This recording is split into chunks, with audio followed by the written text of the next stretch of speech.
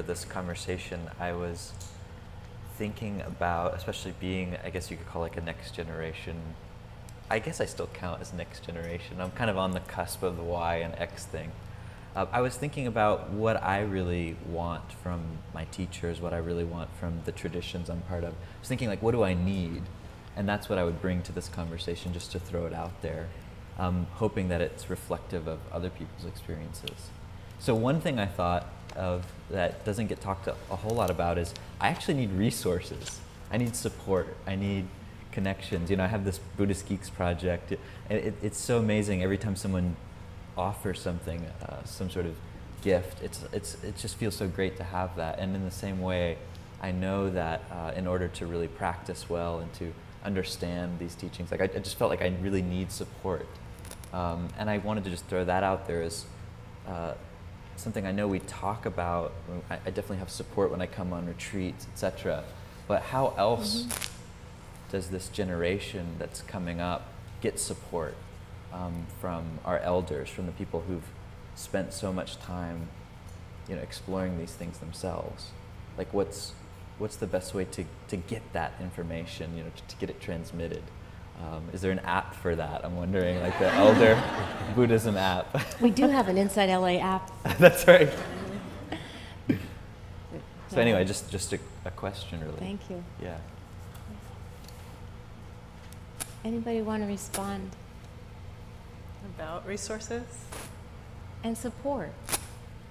I mean, it feels to me that um, that I've noticed certain teachers, for instance, like Jack Kornfield and Goodman, in the pioneer generation, who are really making an effort to offer resources to the people of the younger generations and upcoming teachers and practitioners.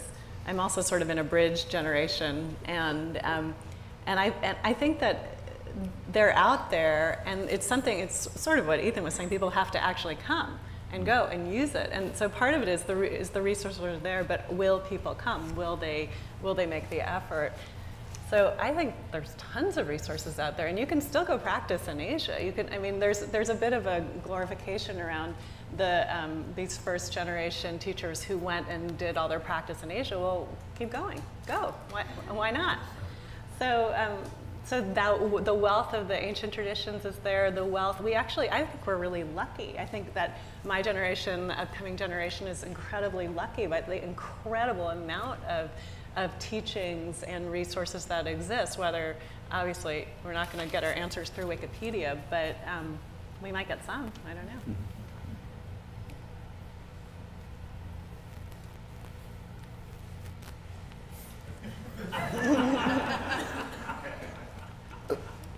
Well, I, I do think, which I, I, think I was trying to allude to earlier, that in terms of resources, the, the, the main thing that people are, are looking for, um, I think, is two things. Um, people want to hang out with other people.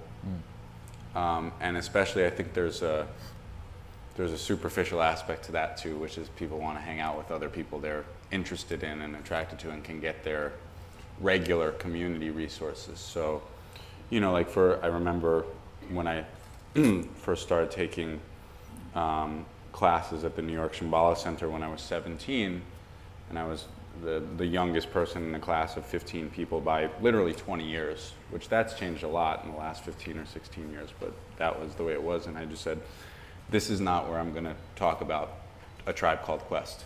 This is not going to happen here. So you had to divide your regular community resources from your Dharma community resources. And I think the, the more that um, uh, people, people have Sangha, that they can actually get both of their sort of regular resources and their Dharma resources from, it's, it's more integrated.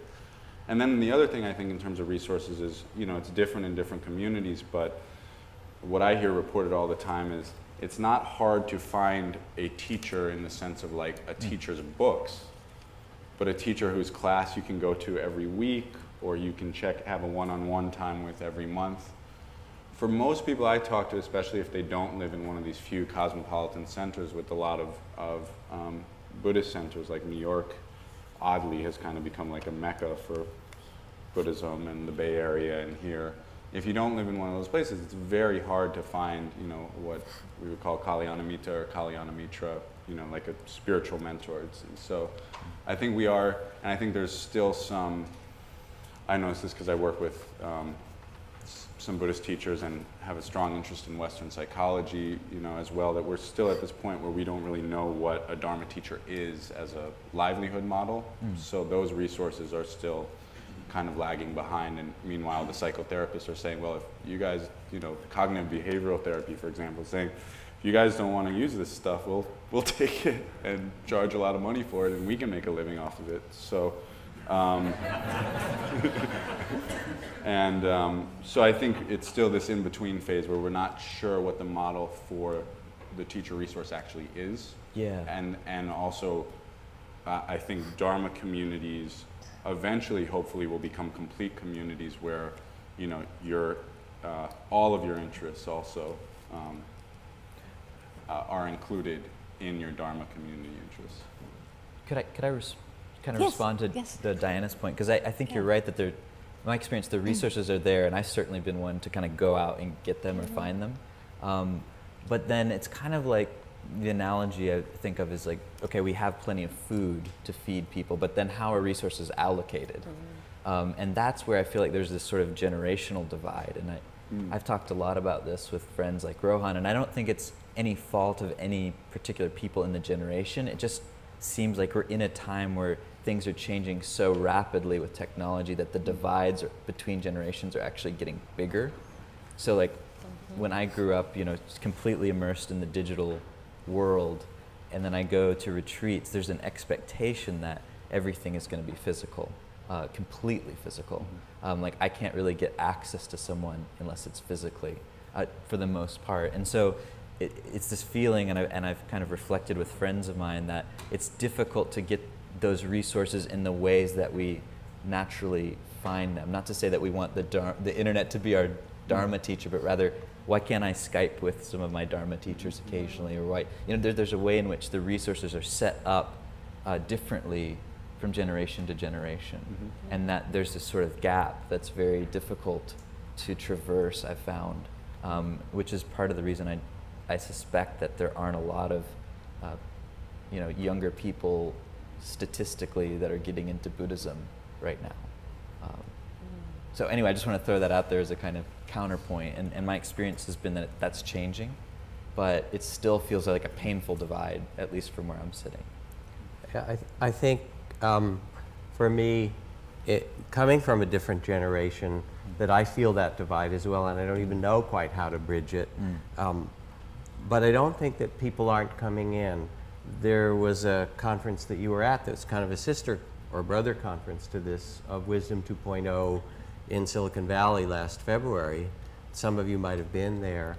And there were about 400 people or 450 people that were part of it, and the panels included some of the founders of Facebook or Zynga or some really key players in the, in the Valley. Um, but the interesting part for me is that it was live streamed and there were 250,000 people watching it online.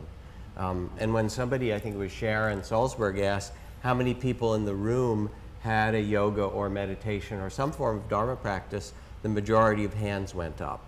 And it was partly self selected, that's the people who came, but it somehow gave a sense to me that actually there was a tremendous amount of interest and a new language, what you're doing, what Ethan's doing, that there's some way in which you are using a whole new culture and language that isn't part of my generation, really, and speaking that language. So I feel like it's happening, and I, I'm a little bit at a remove, not out of lack of wanting to do it, but partly because it's not my language. Right.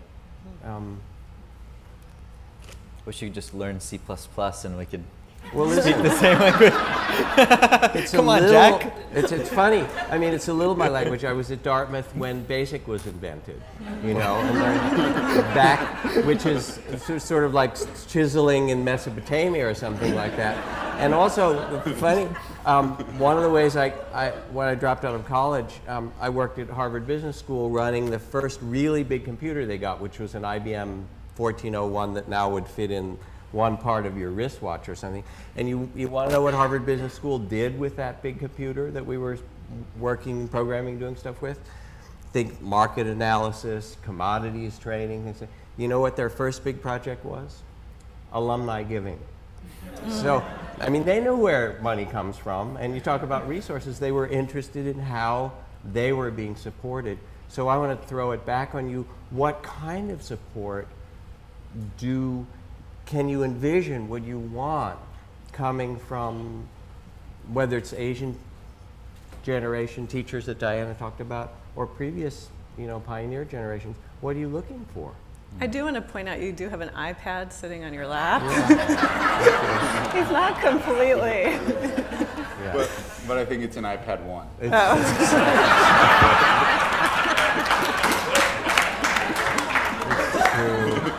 true. I've been hankering after the iPad too, but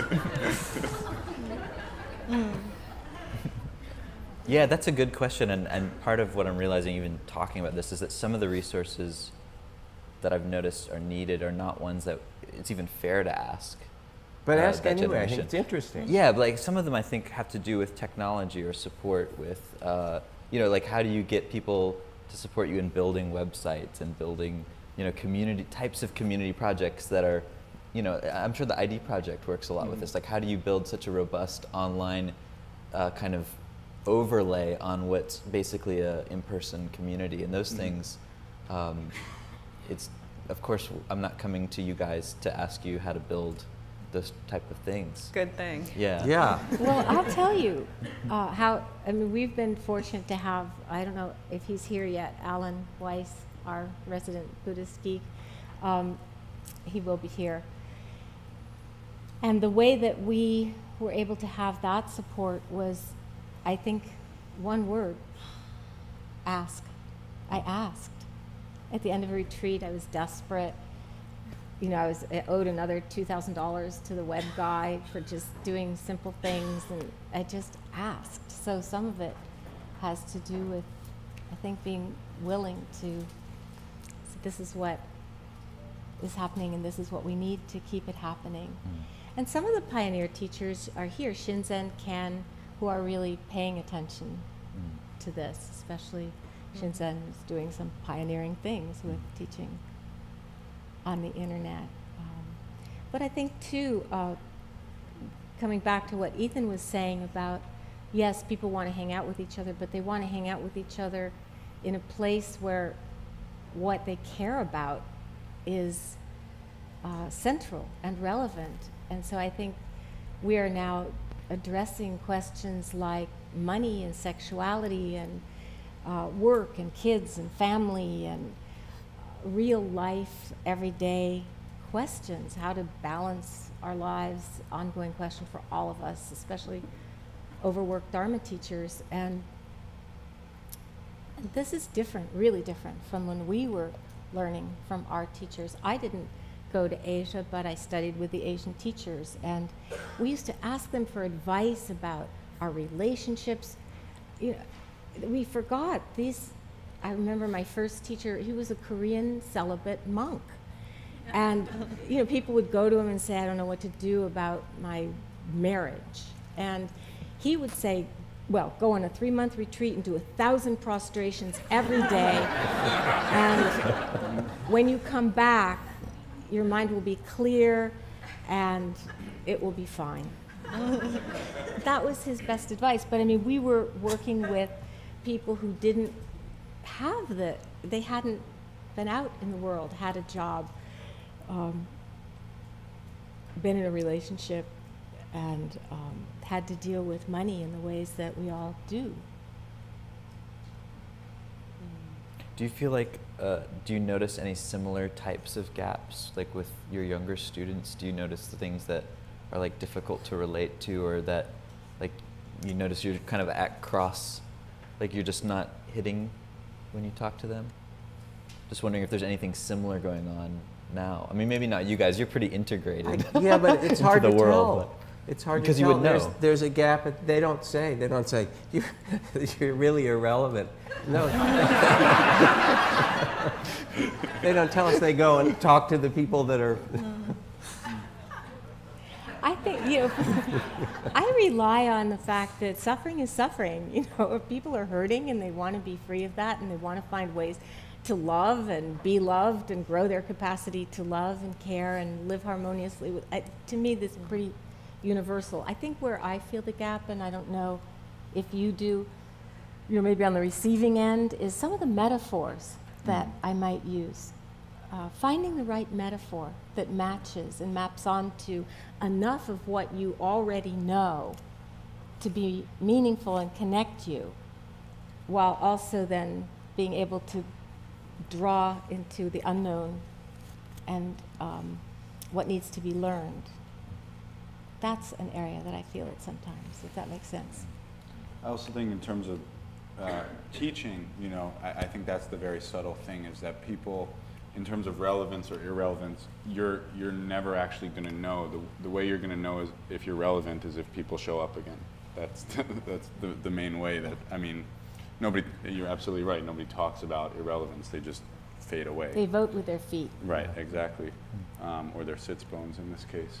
Um, but I, I, think with teaching, I, I, definitely experienced that a lot, a lot of times as a, um, as a young, younger student that there was just culture, metaphors or cultural references or lifestyle references that not only, it, it wasn't that they weren't um, relevant to me, it's that they were very narrow.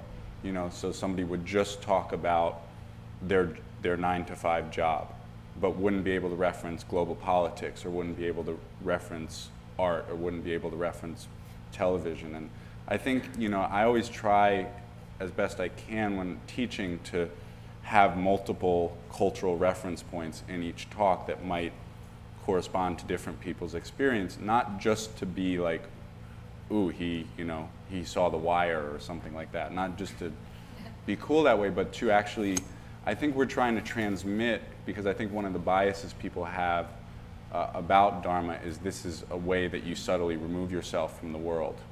And the more we know about different aspects of culture and what's going on in the world right now and can thread different cultural references each time we give a presentation, um, the more we say to people on a very subtle subliminal level, this is somebody who's really curious and engaged about what's going on in the world right now, and their practice is, is actually lets them know more about the world rather than just their narrow cultural um, strand of it. So I think that's, that's very important for teachers to work on really having a broad sense of what's going on in the news, even, even when you know, it's annoying politically, et cetera, but, and, and what's going on culturally so that we can draw on multiple perspectives and at least transmit to students this is somebody who's really engaged in the world because that's interesting to people.